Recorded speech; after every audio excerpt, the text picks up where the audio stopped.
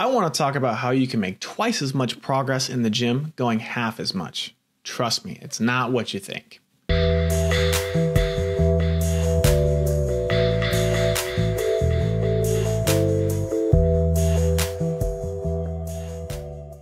We've all wondered how to continue making progress in the gym, and to me, the answer doesn't lie in going more. In reality, how to maximize gym results has everything to do with what happens outside of the gym. So let's start there. Think about it if you're going to the gym seven days a week, an hour each time, that's not even 5% of your week. So why do we put so much focus on 5% and not the 95%? I think we've overemphasized working out because we large in part live a sedentary life compared to our agrarian days. That mixed with social media, working out is the sexy thing to do to improve our health. These three factors might be the reason you ask yourself, why am I not progressing in the gym? Factor one to make more gains with less gym time fix your sleep. Now, I don't mean you have poor sleep quality. I mainly mean you're sabotaging yourself by going to bed and waking up at different times every day. You want to get on a schedule, and the main reason is for hormone regulation. We are huge creatures of habit, and when we get consistent with sleep, our body knows it can rely on the flushing of stress hormones, muscle repair, turning short term memory into long term memory, and countless other benefits. If you're constantly sleeping and waking at random times, your body doesn't know when to expect a system repair. Less stress hormones that prevent muscle growth and more muscle repair is a great way to maximize gym gains without ever needing to spend an extra second there. Some of the ways you can get better sleep is to get off devices two hours before bed, eat no later than two hours before bed, dim the lights, read a book, go through your beauty routine, take a warm shower, play ambient sounds, and consider taking a magnesium supplement for extra relaxation. Factor two to progress faster in the gym while going less fix your food. Now, I by no means am pushing diet culture saying what you're eating isn't good, but it's more how you're eating. Let's envision a food pyramid, and not the one you learned in grade school.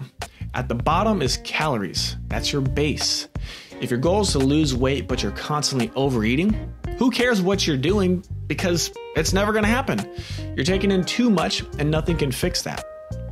On the flip side, if your goal is to gain muscle and you're constantly under eating, it's the same thing, just in the opposite direction. The next level up on the pyramid is macronutrients, which is a fancy way of saying what percent of your calories come from carbs, fat, and protein. Feeling sluggish throughout the day? You could be too low on carbs. Been eating in a caloric deficit but still not seeing the scale move? You could be eating too much fat. Haven't seen any muscle growth recently? You could be too low on your protein. If you have your intake dialed in, this is how we can buckle down further. Next up is nutrient timing. When are you eating your meals? This is especially important when it comes to working out.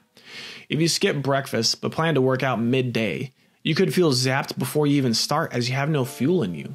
Conversely, you could end up eating too close to a workout, and that can mess with your stomach if you're more sensitive. This is also important for blood sugar regulation throughout the day. And finally, at the very top of the pyramid is supplements. They are just that supplemental to your diet. Meaning, if you can't eat enough whole foods to satisfy all nutrition levels throughout the day, you can add in a supplement to get you there. In my experience, the only supplement worth taking is creatine. I made a whole video on that, so if you want to check it out, you can click here. If you're not having enough food to fuel your goals, workouts, and keep your blood sugar regulated, this could be why you're not making progress in the gym. An easy tip I found is the 50 50 method. Fill half your plate with veggies, the other half with grains and protein, and always eat the veggie half first. That ensures you're getting plenty of carbs in and allows you to feel guilt free tearing into that steak and potatoes. Still hungry and want seconds? Hell, go for thirds or fourths. Just make sure you load up the plate the same way and eat in the same order each time. And finally, the third factor to continue making progress in the gym. But first, if you made it this far, I appreciate you and invite you to subscribe for more content like this. Also, drop any of your fitness questions in the comments below if you got them. All right, so last one movement throughout the day. If you're crushing it in the gym but then sitting the rest of the day, your soreness could be lasting longer than necessary. Now, soreness isn't a bad thing, it lets us know we've done something. However, if you're too sore the next time we go into the gym, that could be affecting the quality of our workout. Lower quality workouts mean less gains and less progress. Plus, getting out in the elements is good for your mood, and walking is the most underrated version of cardio out there, which I also made a video on, so check it out here. You don't have to go crazy with this one. Get out and walk leisurely or briskly if you feel up to it for 20 to 30 minutes a day, and you'll be surprised at how great you feel getting into your next workout. These three factors are how I've made twice as much progress in the gym, going half as much. But don't take my word for it, try it out yourself.